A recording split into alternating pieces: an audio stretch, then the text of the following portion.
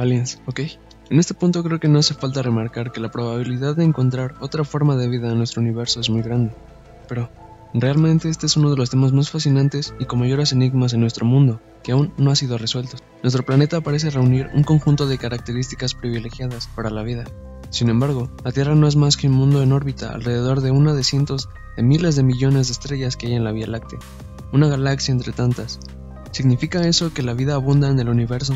Si es así, entonces, ¿por qué no hemos visto señales de civilizaciones extraterrestres? ¿Por qué no hemos visto seres verdes cabezones por aquí? La misma pregunta va mucho más allá. Las leyes fundamentales de la naturaleza parecen estar finamente ajustadas para permitir la existencia de galaxias, planetas y vida. Vivimos en un universo extraordinariamente improbable, o podría ser que nuestro cosmos no fuese más que uno entre muchos. Entre la cultura popular y la ufología se denomina extraterrestre a todo ser vivo originario de cualquier sitio ajeno a la Tierra. La mayor parte de las personas solo tiene en cuenta esta definición al referirse a los seres provenientes del espacio exterior. Por lo general, la vida extraterrestre inteligente se asocia al fenómeno platillo volador. Actualmente se conceptualiza el fenómeno extraterrestre usando diferentes perspectivas, como un fenómeno del que no se tiene evidencia, pero que se puede manejar de manera rigurosa usando el método científico, como un hecho que se acepta como real y del que simplemente se debe acumular evidencia para convencer a todos los no creyentes. En el contexto de la astrobiología, existen esfuerzos de investigación para intentar demostrar la presencia de vida en el cosmos, por ejemplo, el llamado Proyecto SETI, dedicado a rastrear el espacio, radiotelescopios a la espera de captar alguna señal no natural o mensaje proveniente de seres inteligentes.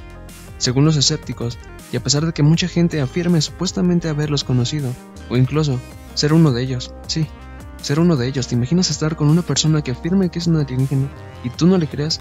¿Y en verdad esto sea cierto? Bueno, en la actualidad no existe ninguna prueba fiable que confirme la existencia de vida extraterrestre. Se sostiene que la mayoría de las pruebas aportadas son testimonios de supuestos avistamientos o fotografías que no representan por sí misma evidencia creíble. Un sector variable de la población a lo largo del mundo cree en la veracidad de las afirmaciones de muchos de los llamados testigos, Actualmente se asocia la idea de extraterrestre con la del fenómeno ovni, pero no siempre ha sido así, y aunque el avistamiento de extraños vehículos y fenómenos aéreos es quizás muy antiguo, su asociación con los extraterrestres es históricamente muy reciente. Quizá el caso que llevó a asociar a los ovnis con los extraterrestres sea el caso de Kenneth Arnold, que afirmó haber avistado a platillos voladores cerca del monte Rainier el 24 de junio de 1947 en el estado de Washington, Estados Unidos, Luego de hacer públicas sus afirmaciones, multitud de personas informaron haber sido testigos de avistamientos en los Estados Unidos, fenómeno que no ha cesado hasta el presente y se extiende a lo largo y ancho del planeta. Una imagen frecuente en la cultura popular, el cine y las historietas es uno de las extraterrestres de apariencia humanoide, como los hombrecillos verdes de la ciencia ficción clásica, o los grises, popularizados por encuentros en la tercera fase y los expedientes X. Varias razones propician que en la cultura popular se le asocia frecuentemente a una representación humanoide o una forma extraterrestre inteligente, pese a que no haya razón científica para suponerla probable. Ejemplo de ello es que en el caso de las películas, esta representación simplifica el proceso de vestuario y maquillaje necesario para la representación de uno de ellos. Además, el diseño basado en rasgos y expresiones humanas reconocibles favorece la estimulación de reacciones emocionales en el espectador. En este sentido, la reacción humana tiene similitudes con la que se experimenta ante los robots, en cuyo caso una mayor similitud física con el ser humano genera una mayor empatía. A nivel psicológico, es más fácil familiarizarse con un posible extraterrestre con características físicas reconocibles, como brazos, piernas, dos ojos, una nariz y una boca, así también con aquel que posea un comportamiento reconocible, tal como mostrar sus dientes en casos de enojo o realizar muecas en situaciones de sorpresa. Igualmente es más fácil asociarlos inconscientemente con un ser inteligente, producto de la forma física similar a la nuestra, que se les otorga popularmente, Igualmente destaca que mientras más sean descritos como seres semejantes a las características y apariencia humana, igualmente son descritos como seres más pacíficos y de características angelicales. En cambio, mientras más sean descritos como seres menos semejantes al ser humano, son además más descritos como seres malignos, entre más cosas. Durante el siglo XX, se han incrementado anécdotas de extraños objetos en los cielos, Dichos testimonios aparecen en proporciones tales que se habla de oleadas de ovnis en lugares y fechas dispares.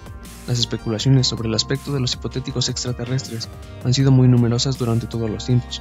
Los numerosos supuestos testigos de toda raza, religión, posición económica y social aseguran haber tenido algún tipo de contacto.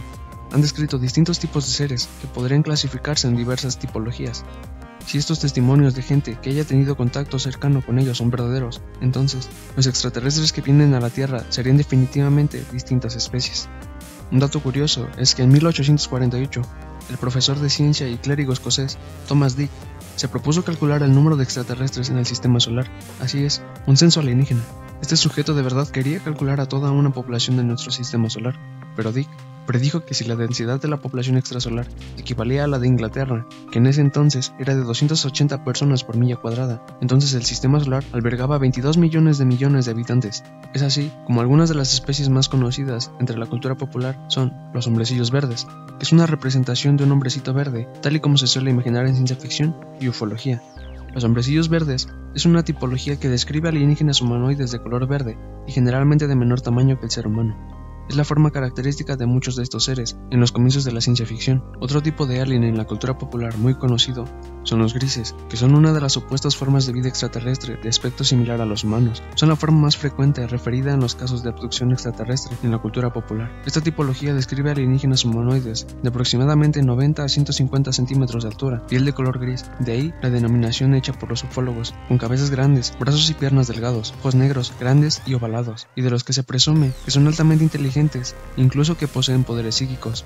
Algunos científicos creen que sería perfectamente posible que existan personas con estas características físicas. La piel gris y los oscuros y enormes ojos negros indicarían que el planeta natal de estos hipotéticos seres sería irradiado por una radiación solar muy débil. A falta de luz, los ojos deben agrandarse y la pigmentación de la piel se habría atrofiado.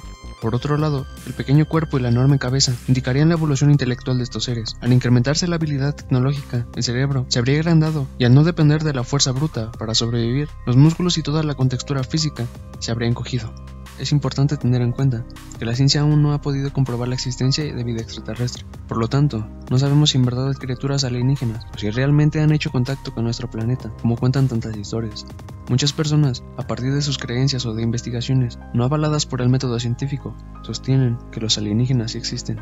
El misterio que encierra la posibilidad de que existan seres en otros planetas que compartan con nosotros ciertas características físicas y culturales ha llevado a muchísimas personas a inventar historias de visitas extraterrestres, en parte llevadas por su fascinación por el tema, pero también para aprovecharse de los medios de comunicación y ganar grandes sumas de dinero a través de entrevistas y presentaciones en programas de televisión. La mayoría de nosotros no sabe con certeza si alguien ha entrado en contacto con seres de otros planetas, y por eso la ilusión sigue viva en tantas mentes inquietas. ¿Tú qué opinas acerca de lo antes mencionado? ¿Crees que de verdad existan seres de otros planetas? Déjame saber tu opinión allá abajo en los comentarios y dame un like si quieres que haga otro video relacionado con este enigma. Yo soy The Stranger y nos vemos en el próximo video.